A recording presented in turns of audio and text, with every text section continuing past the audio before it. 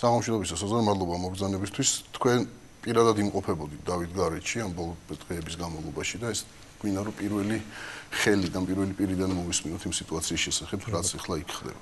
მოგესალმებით და მივესალმები თქვენს მაყურებელს. გუშინ ვიყავით მე ზვიად ძიგური, ელისო ჩაფიძე ჩასულები. ჩვენთან ერთად იქ იყო პრაქტიკულად სოფელ უდაბნოს მთელი მოსახლეობა, რომლებიც მართლა ძალიან აღელვებულები იყვნენ და უბრალოდ ვიხდებოდა მათი დაწყნარება იმის გამო რაც იქ ხდებოდა ანუ 6 მაისის შემდეგ პრაქტიკულად აზერბაიჯანელი მესაზღვრეები დადგნენ ზედ თხემზე და ჩაკეტეს დავით გარეჯის მონასტერში ჩასასვლელი ორივე გზა. ჩვენი მისვლის შემდეგ მოვიდნენ ქართული მესაზღვრეები იქ რაღაცა რამდენიმე 10 მეტრით აზერბაიჯანელმა მესაზღვრეებმა უკან ქვემოთ ჩაიწიეს ანუ გაათავისუფლეს თხემი ის ორი ეკლესია, რომელიც არის ამაღლების ეკლესია ერთ მხარეს და მოწამეთა სახელობის 6000 მოწამის სახელობის ეკლესია მეორე მხარეს გაათავისუფლეს, მაგრამ იმის თვითონ სამონასტრო კომპლექსთან ჩასვლა მაინც არის შეუძლებელი. ეხლა ძალიან უცნაურია ეს განცხადებები, რაც დღეს მოვისმინე, ჯერ ქალბატონი ნინოსგან და შემდეგ კულტურის ministrisგან, იმიტომ რომ ეს უაპელაციოდ იმის გამოცხადება, რომ ეს აზერბაიჯანის ტერიტორიაა და ლეგიტიმურად აზერბაიჯანის მესაზღვრეები, მე მგონი ძალიან უცნაურია, როდესაც ჯერ არ რატომ თუ კი არსებობს 94 წლის ხელშეკრულება, რომლითაც ეს ტერიტორია გადაეცა აზერბაიჯანს? ჯერ არ არსებობს საზღვრების საზღვრები ჯერ არ არის ზუსტად დადგენილი, ჯერ არ არის მომხდარი ზუსტი ხაზის გავლება, სადგადის საზღვარი შესაბამისად ამის ქნა დღესვე ნიშნავს აღიარებას იმისი, რომ ამ თემაზე უკვე ჩვენ აღარ ვკამათობთ, აღარ ვეძიებთ ისტორიულ დოკუმენტებს, აღარ გვინდა აღარაფრის დადგენა, დამთავრებულია ერთი ხელის მოსმით და ასე შემდეგ. მე უბრალოდ შეიძლება არსებობდეს და მე ვიცი რომ არსებობდა რამდენიმე რუკა თავის დროზე, რომელთაც საზღვარი სხვადასხვა ადგილას გადიოდა.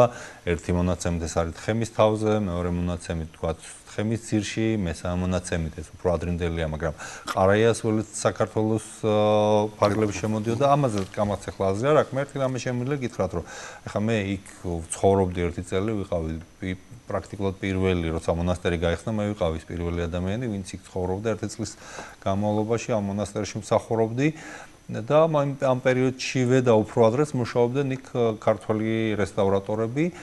ეხა ქართულ რესტავრატორებს არავინ არ შეუშვებდა იმ პერიოდში, ვთქვათ, დავით გარეჯის სამონასტრო კომპლექსში შემავალ სხვა მონასტრებზე, რომლებიც ნამდვილად არის აზერბაიჯანის ტერიტორიაზე, მაგალითად, ბერთუბანში ან ვერანგარაჯაზე, იქ არ ვერ შევიდოდნენ ისინი, იმიტომ რომ აზერბაიჯანის ხელისუფლება მოსთხოვდა მაგ იქ შესვლის ყოფნის საბუთს. იქ თუ შევიდოდა, შევიდოდა მხოლოდ აზერბაიჯანის კულტურის სამინისტროს მიერ გამოგზავნილი ადამიანი, ტურისტულად არ გულისხმობს სამშობლოს თვალსაზრისით დაფინანსდებოდა აზერბაიჯანის კულტურის სამინისტროდან თუ სხვა ფონდიდან რომელიმე სახსრებიდან და ასე შემდეგ. აქ ესენი მუშაობდნენ ყოველგვარი ნებართვის გარეშე აზერბაიჯანის მხრიდან, იმიტომ რომ ეს მიჩნეული იყო როგორც საქართველოს ტერიტორია. ესე იყო მიჩნეული ყოველ შემთხვევაში ზეპირად, ისე ვიმეორებ ზუსტად საზღვარი სად გადიოდა ამ წუთში. ეგ რომელი წელია? აპარაკია 88 89-90. ანუ მაშინ გავიდა 23 წელი, 24 წელი, ხო? და რაღაცნაირად მაინც ხერხდებოდა, ხო, ამ წლების განმავლობაში. ხო, იგივე 94 წლის შემდეგაც პერიოდულად რაღაც პრობლემები წარმოიშვებოდა ხოლმე, თუმცა ესეთი ტიპის პრობლემები თუ იყო, როდესაც ეს მესაზღვრეები შევიდნენ და მესაზღვრეები პერიოდულად ამოდიოდნენ აზერბაიჯანელი მესაზღვრეებიც, მაგრამ იქ ჩასვლის შეხელის შეშლა არავის არ ქონია და მარტივი საკითხია, როდესაც ტერიტორია საკითხი არის გაურკვეველი, როდესაც დადგენილი არ არის და შენ იქაურობა სტოვებ, იქ ვიღაცა დგება, ხო? შენ არ დადგები, ის დადგება და ვინც დადგება, მე რე იმის იქიდან გაშვება, გაყვანა უფრო ძნელია. ვიდრე იმის ხმა რო იცი რა მოდი ჯერ მე ვდგევარ და სანამ ვდგავარ ამამდე სანამ გაირკვევა სანამ კომისია გადაწყვეტ სანამ სახელმწიფოთა შორის შეთანხმებით ეს გაირკვევა მანამდე ხა ნუ დავიწყებთ დავას ამაზე ვის ეკუთვნის და როგორ ეკუთვნის ეს სტატუს ქო რომ მე აქ ვდგევარ შევინარჩუნოთ მაგრამ რასაც იქ ამბობენ ვერებით ვიქარო მოსახლეები უფრო მეტად არის შემდეგი რომ საფხულში ქართულ მესაზღვრეს იქ ვერ გააჩერებდი იმიტომ რომ ამობდნენ რომ გველებია ცხელა და ნუ მიდიოდნენ კვირაში ერთხელ გამოვლიდნენ და ამის ნაცვლად რომ თქვა იგივე 6 მაისს როცა იქ აზერბაიჯანულმა მესაზღვრებმა დაიკავეს ეს ჩასასვლელები იქ გარიყვნენ ქართული მესაზღვრეები იქ თქვა საგუშაგო პოსტი შექმნილი იყო რომელიც რაღაცა ფორმა ექნებოდა ხო რაღაც შენობის სახე თუ სოკოს უწოდებენ იქ მაშინ არ გახჩდებოდა ეს პრობლემა, იმიტომ რომ ეს არ არ უნდა გადავიდეს და არ როგორ ჩვენ არ მივდივართ სახელმწიფო საშუალო ურთიერთობის გამწვავ ეს არის ჩვეულებრივი უყურადღებობის ბრალი. ეს არის უყურადღებობა და იმის ბრალი რომ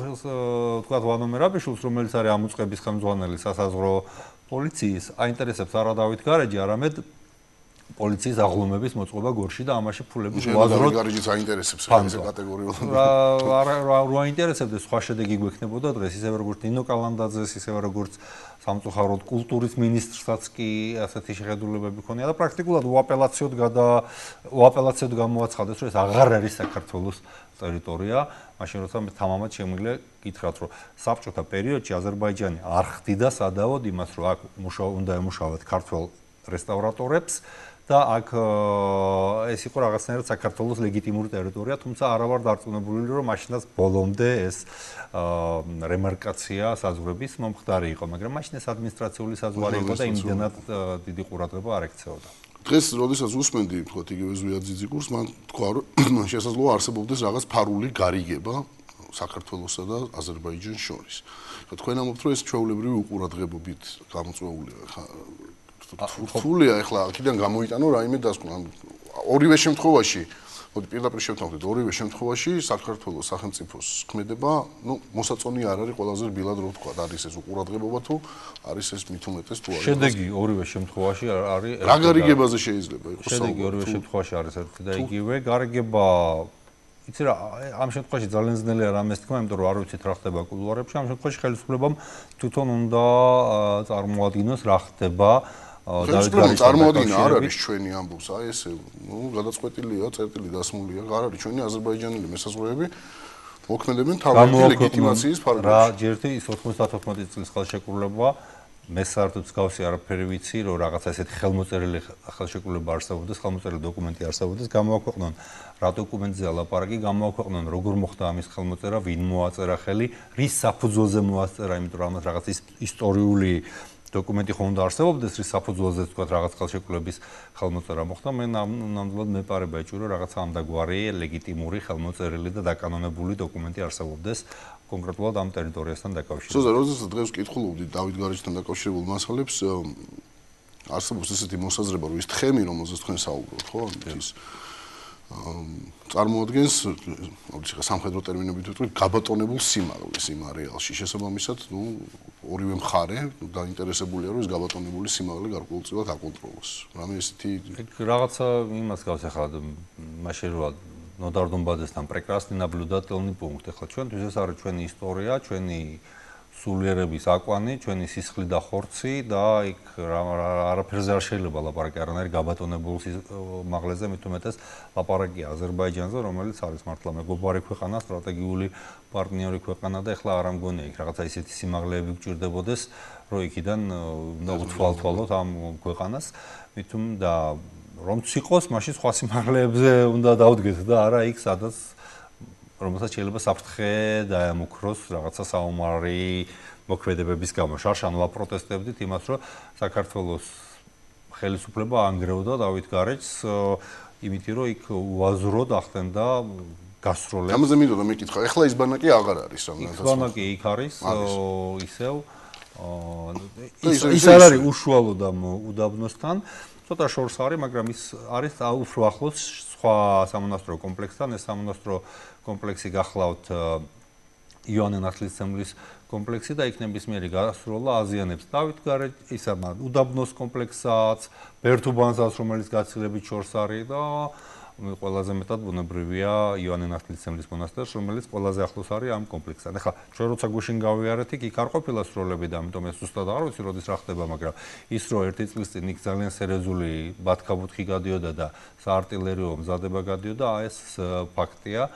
და ეხლა საბჭოთა კავშირს ვებრძოდით და საბჭოთა კავშირს დაუპირისპირდით და მაშინ ვაიძულეთ რომ საბჭოთა კავშირს გაეყვანა ამ ტერიტორიიდან ჯარები იმისთვის რომ არ დაზიანებულიყო ეს უზურპაციის საუნჯი ჩვენი ისტორიისა და ეს მართლა სულიერების და და ქართული კულტურის ძეგლი და ქრისტიანული კულტურის ძეგლი ზოგადად და ეხლა როცა იგივე საკეთებს შენი ხელისუფლება მარტივად ნიშნავს იმას რომ ამას არა აბსოლუტურად არ აინტერესებს ქართული კულტურა და აბსოლუტურად არაინტერესებს ის რატო რატო ხდება ეს ყველაფერი ყოველთვის დავით გარეშთან დაკავშირებით და მეცაც გეტყვით არსებობს მეცნიერული კვლევა, სადაც მეცნიერები პირდაპირ ამბობენ, რომ უმცირესი ბიზნესებიც კი, რომელსაც იწვევს თქვა ასეთი სროლები, გაცილებით მეტად აზიანებს ამ კომპლექსს, ვიდრე იმავე სიძლიერის, იმავე ამპლიტუდის მიწისძვრა.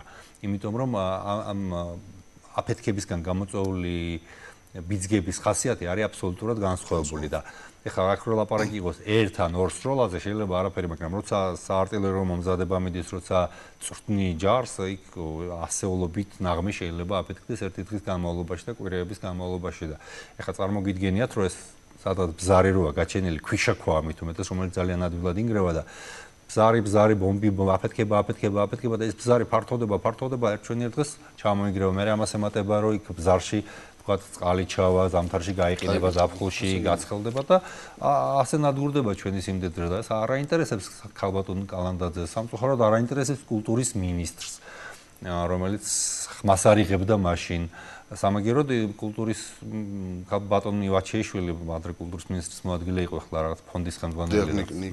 ხო დიახ. ზუსტად არ ვიცი რა ქვია ამ ფონდს.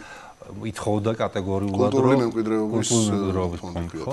ი კატეგორიულად ითხოვდა და პროკურატურასგან ითხოვდა რომ საქმე აღეძრათ ბერების წინააღმდეგ, რომლებიც მათ გაასუფთავეს ასევე დავით გარეჯის მონასტრის ერთ-ერთი შემადგენელი ნაწილი დოდოს დოდოს რქა, დოდოს მონასტერი, წმინდა დოდო გარეჯელის მონასტერი, რომელიც საიდანაც გამოიტანეს თვითონ იქ სოფრელ უდაბნოს მოსახლეობამ და თვითონ ბერებმა თავიანთი ხელით გამოიტანეს რაღაცა უზარმაზარი რაოდენობის მიწა გაასუფთავეს საკუთარი ხელებით, იქ სამონასტრო ცხოვრება დაიწყო და ამათ ციხეში ჩასმას ის თხოვდა და ამავე დროს ეს ბატონი ვაჩეიშვილი, რომელიც ერთ-ერთ რა ვიცი მართლა მეგონა რომ ქართული კულტურისა და ძველი ქართული კულტურის განსაკუთრებით მოამაგე ადამიანი იყო, ამბობდა რომ და არაფერი აფეთქებით იქ არაფერი არ დაშავდება და არაფერი ამ არაფერი იქ არ ხდება ისეთი, რამაც შეიძლება ზიანი მიაყენოს. და ამ დროს იმავე დოდოს მონასტრის სფერები და ეს დოდოს მონასტერი იმ პოლიგონიდან ყველაზე მეტად არის დაშორებული, ამობდნენ რომ აი ზანზარებს აკავრობა პირდაპირ და ეს ყველაფერი ხდებოდა ერთი წელი. ერთი ერთი კითხვა მაქვს, აი ბევრ თემაზე რომელსაც ჩვენ ამ სტუდიაში ვარჩევთ, მე მაქვს ბოლოს ერთი კითხვა მაქვს ხოლმე. და ეხლა რა? რა შეიძლება გაკეთდეს იმისთვის, რომ რაღაცა ვითარება შეიცვალოს? იცი, იმიტომ რომ მუდმივად საუბრობთ რაღაც პრობლემებზე, არის პრობლემები, ხედავთ, გვესმის რაში მდგომარეობს ეს პრობლემა ეხლა უნდა გადაიჭრას ეს პრობლემა. რაღაცნაირად იმ გზით თუ ამ გზით აი Facebook-ზე შეიქმნა ჯგუფი რომელსაც უკვე თითქმის 40000 ადამიანი გააერთიანა ამ ჯგუფმა გადავარჩინოთ დავიბრუნოთ დავით გარეჯი.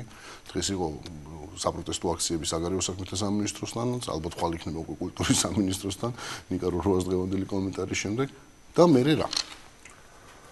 ორი რაღაცა. პირველი ესეთი აქტიურობით, საზოგადოების მობილიზებით უნდა ვაიცულოთ ხელისუფლება. საკითხი იყოს ღია, საკითხი იყოს გამჭვირვალე, საზოგადოება, მეცნიერები და ინტერესებული პირები იყვნენ ჩართული. ну შეიძლება სახელმწიფოთა შორის მოლაპარაკების პროცესში ვერა, მაგრამ სამუშაო პროცესში იყვნენ ჩართული, რომ ზუსტად ვიცოდეთ რა ხდება რა ხელშეკრულებებზე, გველაპარაკება ბატონი ვაჩეიშვილი, რურუა, აა ვიცოდეთ რა ამ მოლაპარაკებებში თქვა რა პირობებს აყენებს აზერბაიჯანის ანუ ღია იყოს ეს ყველაფერი? აზერბაიჯანული მხარის პირობებიც ვიცოდეთ ჩვენ რა მოთხოვნებს ვაყენებთ ჩვენ როგორ ველაპარაკებით ესეც ვიცოდეთ ეს ერთი და მეორე ოქტომბერში გადავირჩიოთ ხელისუფლება რომელიც ამ ყველაფერს აკეთებს. მეორე შემადგენელი ნაწილი 27 მაისს მოვიდეთ პოლიტიკურ აგიტაციაში პოლიტიკურ აგიტაციაში გადავიყვანთ ახლა პოლიტიკური. ის რომ სააკაშვილს არ აინტერესებს საქართველოს ისტორია და არ აინტერესებს საქართველოს ტერიტორიები ეს არის პოლიტიკური სწორედ ის რომ სააკაშვილი ამბობს რომ სოხუმი არ არის საქართველოს შემადგენელი ნაწილი და ამიტომაც ლექსები არ ყოფილა სოხუმზე და galaktionis ლექსი თურმე არაფერი ეგ არის პოლიტიკური. ის რომ სააკაშვილმა რამდენიმე წლის წინ გამოაცხადა რომ რამდენიმე სოფელი დაიკარგა დიდი საქმე და თურმე აფხაზეთის ის კოდორის ხეობა და აქსნისა და ლიახვის ხეობები ეს არის რამ ქვების გროვა ეს არის პოლიტიკური და სწორედ ამიტომაც 27-ში უნდა მოვიდეს ყველა თბილისელი, ყველა ვისაც გული შესტივა საქართველოსზე და უთხრას ერთხელ და სამუდამოდ ამ ხელისუფლებას რომ დამთავრდა მათი პარპაშის დრო. და დამთავრდა დოქტორ დოტის მოწვევები და ის რა ქვია ზურგზე კბენები პრეზიდენტის ეს არ არის ქვეყნის გადარჩენის პოლიტიკა.